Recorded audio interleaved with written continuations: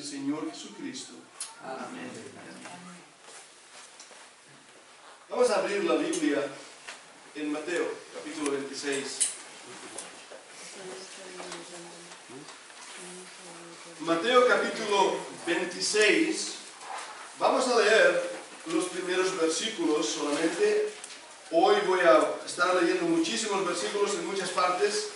En homilética dicen que no es bueno hacer eso porque marea al oyente, pero si podéis seguir las lecturas y buscar los versículos será bueno, si no simplemente escuchar la lectura. Pero mi deseo es poder centrarnos en la palabra de Dios y ver la autoridad de la misma. Mateo, versículo capítulo 26, del 1 al 5, va a ser nuestra primera lectura. Cuando hubo acabado Jesús todas estas palabras, dijo a sus discípulos, Sabéis que dentro de dos días se celebrará la Pascua, y el Hijo del Hombre será entregado para ser crucificado. Entonces los principales sacerdotes y los escribas y los ancianos del pueblo se reunieron en el patio del sumo sacerdote llamado Caifás. Y tuvieron consejo para prender con engaño a Jesús y matarle. Pero decían, no durante la fiesta, para que no se haga alboroto en el pueblo. La semana pasada, hablando de este mismo pasaje, hablé del juicio más injusto de la historia. Vimos algunos juicios históricos que han movido nuestros corazones hacia la frustración, la rabia o la denuncia. Pero mostraba como el juicio de Jesucristo fue sin duda alguna el juicio más injusto. Hoy deseo continuar con los prolegómanos antes de que Jesucristo fuera crucificado. Y hoy me gustaría responder a una pregunta. ¿Quién mató a Cristo? Porque si vemos que el juicio fue injusto, debemos determinar que la mano del verdugo fue injusta o fue soberanamente establecida. Es una pregunta difícil. Los judíos, los romanos, los gentiles, ¿o fue acaso la voluntad específica del Padre? El Señor Jesús está hablando a los apóstoles en este pasaje y les dice claramente que Él va a morir. En el versículo 2 dice el Señor Jesucristo, sabéis que dentro de dos días se celebra la Pascua. Eso lo sabían. Estaban de hecho preparando esa Pascua. Había habido una serie de eventos durante esa semana en preparación a esa Pascua. Pero mirad estas palabras. El Hijo del Hombre será entregado para ser crucificado. ¿Qué es lo que motivó esa entrega? Leamos varios pasajes ya en el Antiguo Testamento, en el libro de Isaías, capítulo 49 y versículo 7. Isaías 49, 7. La palabra del Señor en el Evangelio, según Isaías, como algunos decimos, porque cada página de Isaías muestra al Señor Jesucristo.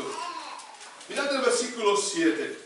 Así ha dicho Jehová, Redentor de Israel, el santo suyo, al menospreciado de la alma, al abominado de las naciones, al siervo de los tiranos.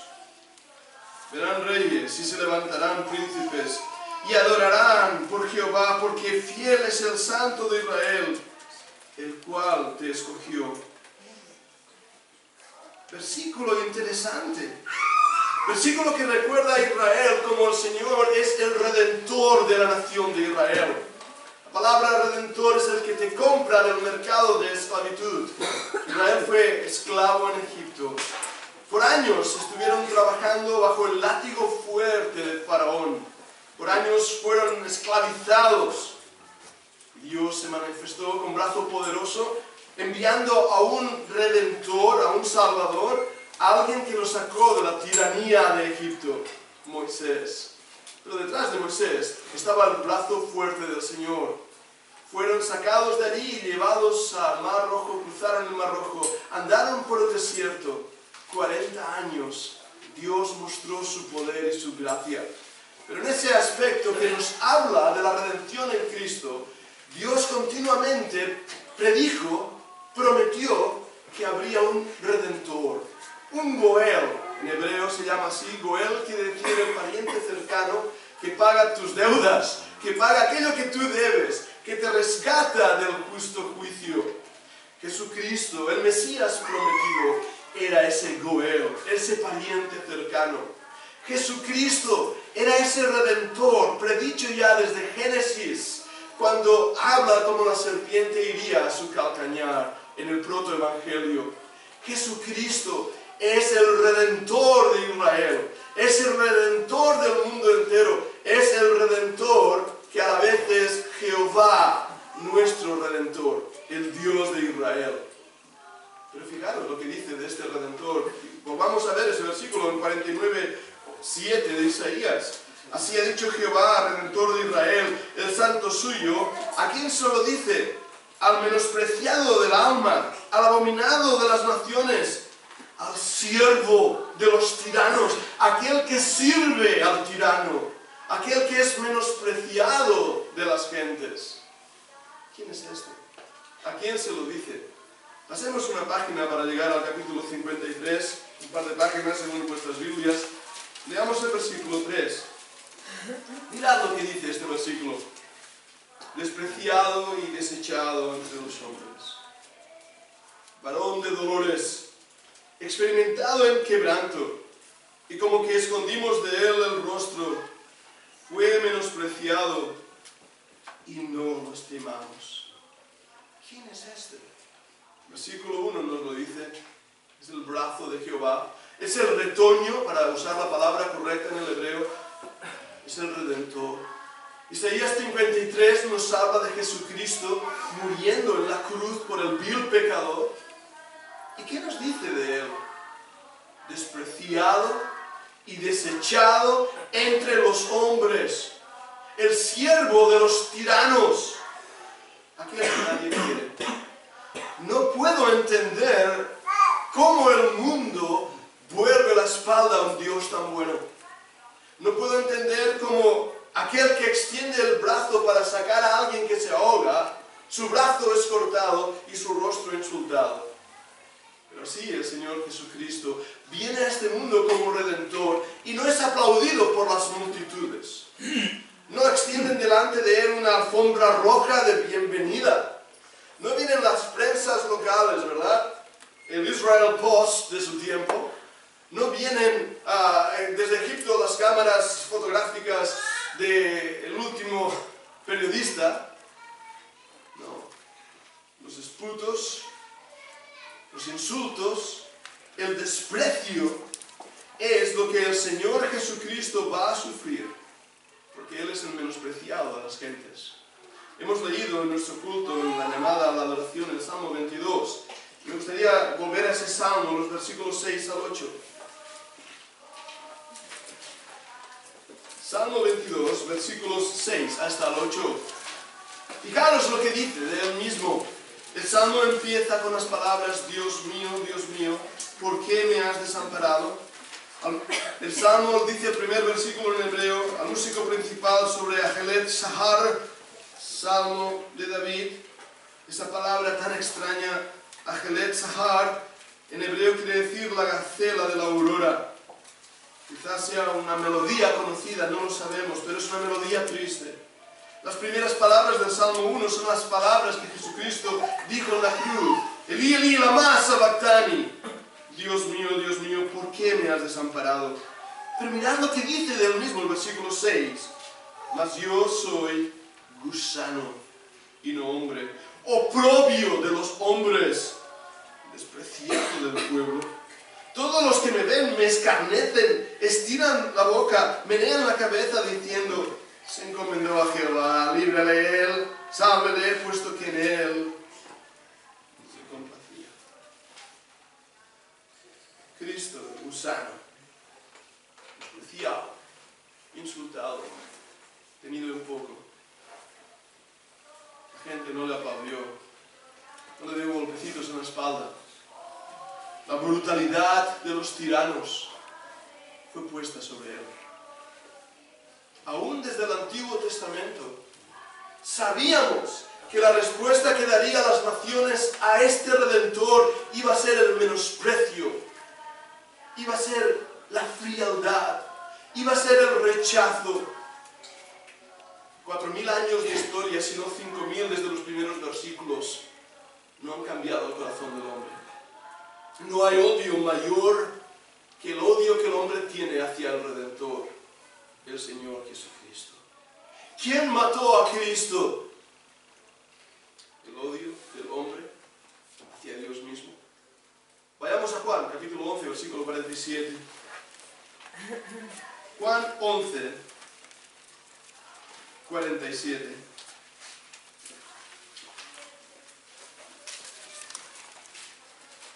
Entonces los principales sacerdotes, los fariseos, reunieron el concilio y dijeron, ¿qué haremos? Porque este hombre hace muchas señales. Si le dejamos así, todos creerán en él. Y vendrán romanos y destruirán nuestro lugar santo y nuestra nación. Entonces Caifás, uno de ellos, sumo sacerdote aquel año, les dijo, vosotros no sabéis nada. Y pensáis que nos conviene que un hombre muera por el pueblo y no que toda la nación perezca. Esto no lo dijo por sí mismo, sino que como era el sumo sacerdote aquel año, profetizó que Jesús había de morir por la nación. Y no solamente por la nación, sino también para congregar en uno los hijos de Dios que estaban dispersos. Así que, desde aquel día, acordaron matarle. Los judíos mataron a Cristo. Eso es lo que se suele decir, ¿lo habéis oído alguna vez? De hecho, los judíos, y para ser más específicos, la palabra en griego nos lo indica, los de Judá, los de Judá mataron a Cristo. El concilio mató a Cristo.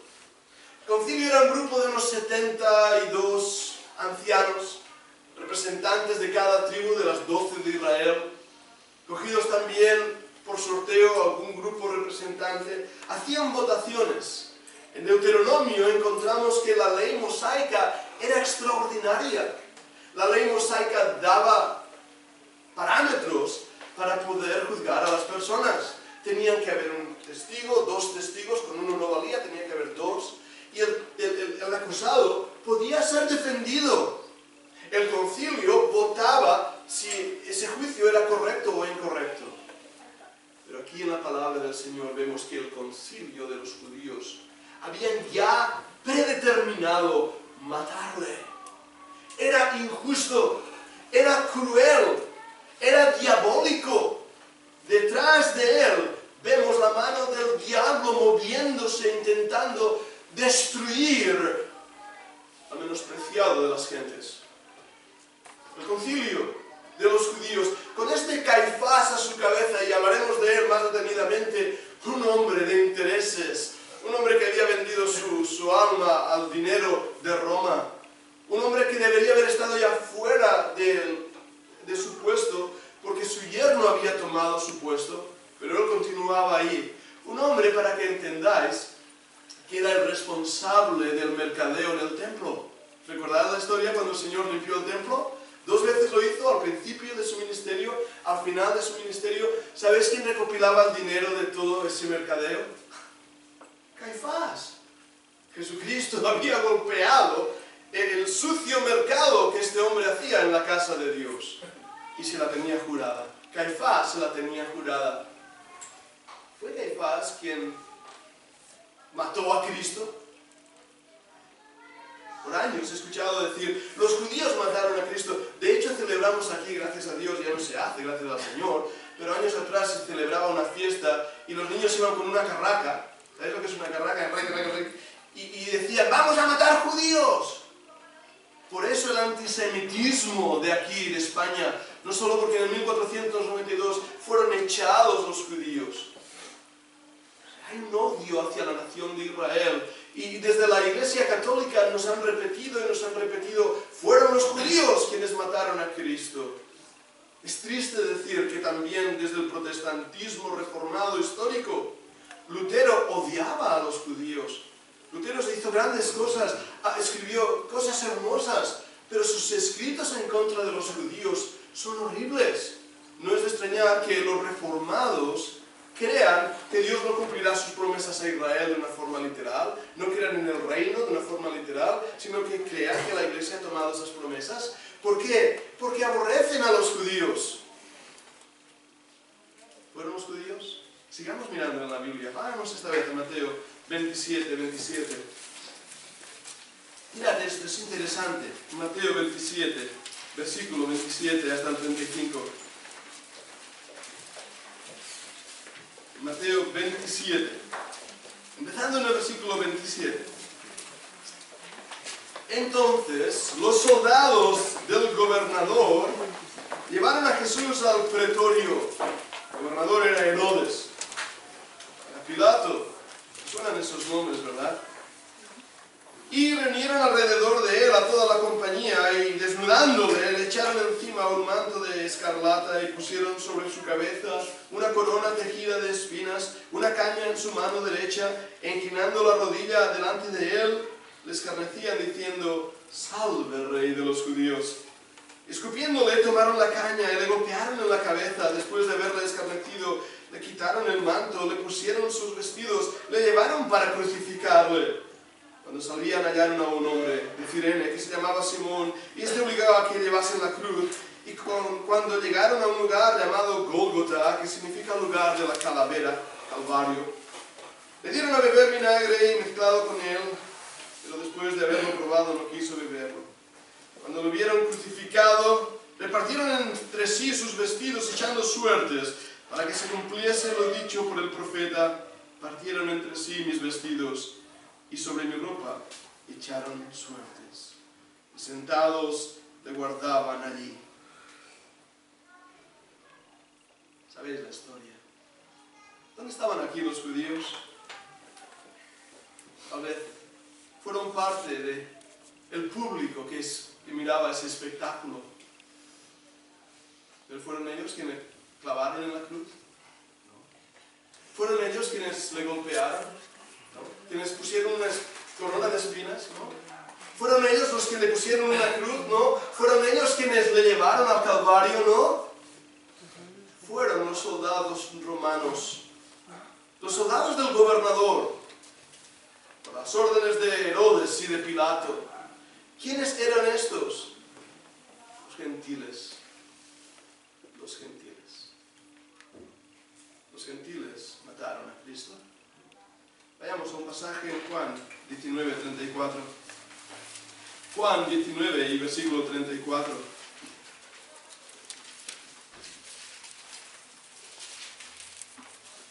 Dice así la palabra del Señor. Pero uno de los soldados le abrió el costado con una lanza y al instante salió sangre y agua y el que lo vio da testimonio y su testimonio es verdadero y él sabe que dice verdad para que vosotros también creáis. Esa lanza, según me dicen los médicos, debió partir el corazón de Cristo, debió llegar al pericardio y por eso salió agua de la herida de Cristo. ¿Quién lanzó esa lanza? Fue un soldado romano. Fueron ellos quienes mataron a Cristo. Vayamos un pasaje más. Estamos llegando ya a una conclusión tremenda en Hechos 4, 27. Hechos 4, 27.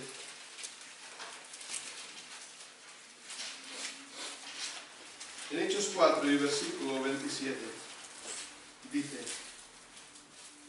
perdóname, leído en el libro, Hechos 4, 27. Ahora sí. Porque verdaderamente se unieron en esta ciudad contra tu santo Hijo Jesús, a quien ungiste Herodes y Poncio Pilato con los gentiles y con el pueblo de Israel ¿Quiénes mataron a Cristo? Ahí está la respuesta. Hubo una conspiración tremenda de Israel, los judíos, de los gentiles, Poncio Pilato, Herodes, el tetrarca, un hombre idumeo corrupto, un hombre que también había vendido su alma al dinero de Roma. Pero fueron ellos. Físicamente sí, fue la mano del verdugo. Todos ellos conspirados a una para terminar con el menospreciado de las gentes. Ahora, si así fuera, si esto fuera la realidad, solamente, ¿dónde estaría mi esperanza? ¿Dónde estaría mi, mi, mi libertad? ¿Dónde estaría el gozo de la muerte de Cristo? Si fuera solamente que Él murió ante el plan perverso de la humanidad. No, yo creo que, que debe haber algo más. Yo creo que el brazo ejecutor de su muerte fue esta conspiración a una. Pero ¿quién había detrás? El diablo estaba detrás, sin duda alguna, lo había intentado otras veces. Pero era él el que tenía el poder. ¿Por qué no sigamos investigando? Si me permitís unos minutos más, continuemos mirando en la Biblia, intentando responder a esta pregunta, ¿por qué murió Cristo? Y al intentar responderla, llegaremos a lo que significa esto para nosotros hoy. Lo que quiere decir. Vamos a más pasajes. Hechos 2, 23. Hechos 2, versículo 23. Capítulo 2 es el gran capítulo cuando vemos la unción de la iglesia con el poder del Espíritu Santo. El sermón de Pedro es el tema principal de estos versículos. En versículo 14 en adelante, Pedro muestra a los gentiles, a los judíos, perdonadme, que habían sido librados, que habían oído del Redentor, que sabían del Goel, que sabían del poder de Dios. Y cuando llega a este versículo, el versículo 23, hablando del Señor Jesucristo, déjame leer desde el versículo 22, varones israelitas, oíd estas palabras. Jesús Nazareno, varón aprobado por Dios entre vosotros, con las maravillas, prodigios y señales que Dios hizo entre vosotros por medio de Él, como vosotros mismos sabéis. A este, entregado por el determinado consejo y anticipado conocimiento de quién? De Dios. Prendisteis y matasteis por mano de los inicuos, crucificándole. Oh, amados, marcad este versículo en vuestra Biblia. El versículo 23 nos habla del determinado consejo, el anticipado conocimiento de Dios. No hubo casualidad en la muerte de Cristo. Nada escapó de las manos del Dios soberano. El tiempo, la hora de Cristo había llegado. A lo largo de toda la Biblia y vez tras vez, Juan 12, 27, no leer sus citas, pero Juan 12, 27, Filipenses 2, 4, en Hebreos 2, 14, Cristo estaba hablando de su muerte. Sabía que la hora había llegado. ¿Recordáis la oración con sus apóstoles? Sabía que ese momento predeterminado desde antes de la fundación del mundo, como nos dice en Apocalipsis, nos recuerda ese versículo tremendo que Cristo es el Cordero de Dios. Crucificado no, pero sí sacrificado desde el principio del mundo, antes que el mundo sea, antes que el mundo fuera. Dios había determinado un plan, un plan específico para salvarme. Y en esto me gustaría extenderme. Dios es soberano. ¿Y cuánto soberano es Dios? Bien, Él es rey de reyes, Él es señor de señores, eso le hace soberano, pero aún más, es Dios todopoderoso. Él hace lo que le place. No hay nadie, nos dice la Biblia, que pare su mano y le diga, ¿qué haces? La soberanía de Dios es por lo tanto absoluta. La soberanía de Dios es totalmente establecida por el puro afecto de su voluntad, por su predeterminado consejo. Dios hace lo que le place. Pero a la vez, Dios, en ese predeterminado consejo, determina que su criatura, tú y yo, seremos salvados por pura gracia. Y nos da incluso la libertad de escoger. Somos libres ante un Dios soberano. Somos responsables ante un Dios soberano. Por eso es que nadie tiene excusa. Por eso es que Dios, en su soberanía, determinó el tiempo que su hijo nacería. Dios en su soberanía determinó el momento en que su hijo moriría. Dios en su soberanía sabía que él iba a ser el despreciado, el menospreciado. Lo hemos leído en el Antiguo Testamento. Dios en su soberanía permitió que Judas fuera escogido de entre los doce, el traidor que nunca creyó. Dios en su soberanía permitió ese, ese consejo, ese concilio en la noche, tomando a Caifás, que ya había vendido su alma al dinero de Roma, y Dios en su soberanía lo permitió, sus negocios sucios, para que fuera el primer hostigador entre los judíos. Dios en su soberanía hizo que en una mano de un soldado romano existiera una lanza que fuera lanzada al lado del Señor Jesús. Ningún pájaro cae al suelo sin esa soberanía. Ningún, ninguna flor del campo es abandonada sin esa soberanía. Ninguno de nosotros es dejado de vigilar sin esa soberanía. Pero a la vez, hermanos, cada una de esas personas fue responsable ante el Dios soberano y va a tener que pedir cuentas. Dios un día tomará a ese soldado romano. Y hay una historia por ahí que tan siquiera sé si es verídica de ese soldado romano que era ciego y la sangre de Cristo le salpicó en los ojos y ¡bum! recobró la vista. Tengo muchas dudas, no de que Dios fuera capaz de hacer esto, sino más bien tengo dudas de que existieran romanos, soldados romanos ciegos. Tenía un compañero en el ejército que le echaron del ejército porque era alérgico al tomate.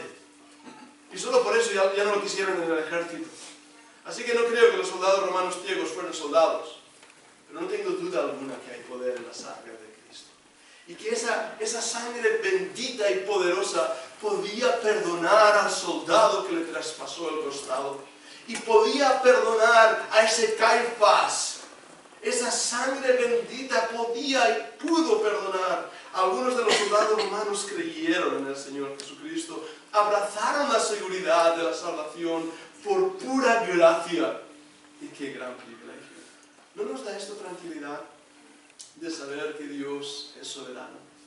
Y a la vez Él tampoco es un Dios determinante y arbitrario. Hay un libro en español, en la literatura española, de Rojas, de un tal Rojas, que se llamaba La fuerza del sino. Si no lo habéis leído, no os aconsejo que lo leáis, es bastante aburrido y termina la historia diciendo más o menos lo mismo que Shakespeare, ¿verdad? Romeo y Julieta, en mi opinión es una copia de Romeo y Julieta. Pero Fernando de Rojas, en La fuerza del destino, termina su libro con unas palabras que siempre me llamaron la atención. Y las dice en latín, dice, Inaec hoc lagrimorum vale, en este valle de lágrimas. Y en ese libro parece que la fuerza del destino nos ata a lo inevitable. Otra palabra es la fuerza del karma. No de Carmen, que eso es otro nombre. La fuerza del karma. No, amigo mío. Tu vida no va dirigida por las estrellas, por los astros. No va dirigida por las casualidades. Va dirigida por tu propia responsabilidad y por un Dios soberano. Pero hay un punto más que deseo desarrollar. Cristo murió por mí. Y Él dio su vida cuando Él quiso. Él le dijo a Pilato en su juicio, nadie quita mi vida, yo la pongo. Y habéis notado que cuando estaba en aquella cruz, habiendo clamado a gran voz, ¿habéis notado lo que dice ese versículo? Dio el Espíritu. Nadie se lo quitó, Él lo dio. Llegó la hora, el momento. Y Él voluntariamente murió por mí. Así que mirando de nuevo la palabra de Dios, observo que no solamente Cristo murió porque el Padre lo había predeterminado, sino que Cristo murió porque Él quiso. Nadie le quitó la vida. Los judíos no mataron a Cristo. Los romanos no mataron a Cristo. Caifás el concilio no mató a Cristo. Judas el traidor no mató a Cristo. Intentaron en su responsabilidad humana buscar de matarle. Nunca hubieran podido si el Padre no hubiera dado a su Hijo. Y si su Hijo no se hubiera dado a sí mismo por mí. Y esto es importante. Él se dio por mí para darme vida. Y esto es importante. Calvino, en su defensa de las doctrinas, habló de una cosa llamada la perseverancia de los santos. Seguro habéis oído de ella. Y a veces en, términos coloquiales, en vez de hablar de la perseverancia de los santos, que suena muy, muy teológico, hablamos de la seguridad eterna del creyente. Eso suena más familiar, ¿verdad que sí? Hablamos que somos salvos y no, más coloquial aún, no podemos perder nuestra salvación. ¿Habéis oído esas palabras, verdad? Yo pierdo las llaves casi siempre. Perdí la cabeza por culpa de mi esposa, eso fue otra cosa. Pero yo pierdo cosas, pero la salvación está segura. Está segura. Hermanos, esta doctrina es vital que la entendamos. Es muy importante. Porque el gran error del el arminianismo, y hoy me toca hablar en contra del arminianismo, el gran error del arminianismo es pensar que la salvación depende de nosotros y que la salvación se, se dirige y se determina por lo que yo hago. Si fuera así, ninguno de nosotros sería salvo. Porque ya hemos visto que todo el mundo desde un principio aborreció a Dios. No buscamos a Dios por nosotros mismos. Si fuera por mí, hermanos, si la salvación dependiera de mí, ya hacía años que estaría perdido. Ya me hubiera apartado. Por lo tanto, la salvación no depende de lo que yo hago, sino de lo que Él hizo en la cruz del Gólgota. Y esta, esta doctrina tenemos que clavarla en nuestra alma como una seguridad. La doctrina de la salvación segura, de la seguridad de la salvación, de la perseverancia de los santos, es una doctrina que está en las Escrituras. La Biblia dice, el Señor Jesucristo, nadie va a arrebatar esa hojita de mis manos y de las manos de mi Padre. Es importante que entendamos esto. De la misma manera, la salvación, la doctrina de esta salvación, no es excusa para vivir como queremos. Si alguien dice, yo soy creyente, y vive como el diablo, tiene un problema. O miente y no es creyente, o es un creyente a que Dios le va a dar de palos hasta que aprenda. Porque la Biblia habla de juicio sobre los creyentes que viven de tal manera. Pero hermanos, siendo así debemos decir que tampoco es algo que se pierda. Esta semana, justamente esta semana, estaba leyendo un comentario al libro de Hebreos, capítulo 6. Es un pasaje complicado, lo sé, lo sé que es complicado. Y ahí presenta la imposibilidad de que alguien que se arrepentido, si se vuelve al mundo, eh, vuelva a crucificar al Señor Jesucristo para volverse a salvar. Hebreos 6, bien entendido, nos muestra realmente esa realidad. Si eres salvo, si eres salvo, vas a continuar siendo salvo hasta el final. Porque ¿qué? no hay otra manera, no puedes ser salvo, irte al mundo y, y volverte a arrepentir, eso no puede ser. Por lo tanto, si Dios te ha sellado con tu Santo Espíritu, si Dios te ha hecho una nueva criatura, eres salvo en Cristo. Esa salvación está segura hasta el final. El escritor de Hebreos 6 nos da esa seguridad. Y cuando contemplamos el libro de Hebreos en la totalidad de las doctrinas, vemos que nuestra salvación no se pierde. El comentario que leía eh, era de un hombre que conocéis algunos y fue mi profesor por años, el doctor Spence. Y este hermano, en, en- en su, en su postura doctrinal, es, es arminiano, es wesleyano. Él cree que tú puedes perder la salvación. No lo va a decir con estas palabras, lo dice de otras maneras. Dice que un apóstata es alguien que fue salvo. Y dice que si tú estás, ah, la palabra en inglés es backslider, apartado, andas mal, entonces eh, muy probablemente puedas perder la salvación porque tu salvación siempre está en forma presente. Esto es importante que entendamos. Es decir, tú debes creer en forma presente. Y si no crees en forma presente, entonces a lo mejor dejas de ser salvo. Y aún da un paso más allá. Para evitar esto, para evitar este peligro, tienes que ser santificado, una segunda obra de gracia en tu vida que te sella para que vivas en una situación de no pecar. De no pecar. En inglés esto se llama sinless perfection. Ahora él dice que esto no es sinless perfection. Pero hermanos, esto lo comento porque justamente es un conflicto que estamos teniendo en nuestros alrededores. Pero hermanos, nuestra postura bíblica es que el creyente no puede perder la salvación. Nuestra postura bíblica es que de la misma manera que el creyente de una forma presente debe creer, el Señor Jesucristo desde el trono de la gracia y de una forma presente continuamente está intercediendo por mí. Él es el sumo sacerdote que intercede por mis pecados, que, que está guardándome en su gracia, que está operando a través de mí. Porque sí, al fin y al cabo, fueron también mis pecados. Fui yo crucificó al Señor Jesucristo. Y esta es una dura conclusión para el mensaje. Pero debemos también verlo así. Debemos darnos cuenta que nosotros somos culpables de la muerte de Cristo. El Padre lo quiso y Él se entregó a sí mismo. Sí, correcto. Y los judíos y los romanos fueron el brazo ejecutor. Correcto. Pero hermanos, si no hubiera sido por mí, Él no hubiera tenido.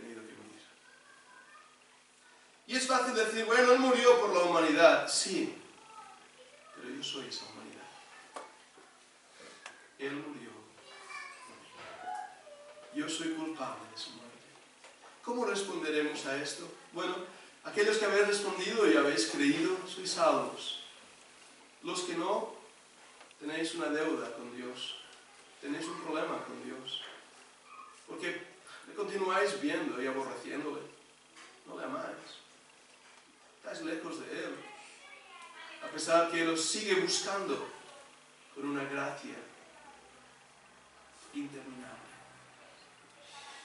Así que debes responder a ese llamado, diciendo Dios, creo que yo soy el culpable. No quiero tirar la culpa a los judíos ni a los romanos, no quiero tirar la culpa a ese juicio injusto de Caifás o Pilato, no quiero tirarle la culpa al diablo, y tan siquiera quiero excusar que Él lo hizo porque Él quiso. Yo crucifiqué a Cristo. Acepta a Jesús. Sé salvo porque Él te ama. Y si ya eres su hijo, oh, dale gracias. Porque aún siendo yo quien crucificó a Cristo, su amor hacia mí es inmenso. Su salvación es segura. Nadie me arrebatará de sus manos. Porque Él puso su palabra en juego. Y su obra desde antes de la fundación del mundo. Para que hoy yo sea su hijo. Vamos a ver. Señor, gracias por tu palabra y, y en esta mañana, por haber respondido a esas preguntas tan importantes. ¿Quién mató a Cristo? Y Señor, concluir que al fin y al cabo es mi culpa. Pero gracias por esa soberanía, por ese poder, por esa destreza. Ayúdanos hoy, Señor, a amarte, a gozarnos en esa salvación, a saber que pase lo que pase, estoy seguro en tus manos. Que nuestro deber, nuestro gozo, es realmente buscarte a ti, el único Dios verdadero. Lo pedimos, Padre, en el nombre del Señor Jesucristo. Amén y amén. Vamos a ponernos de pie.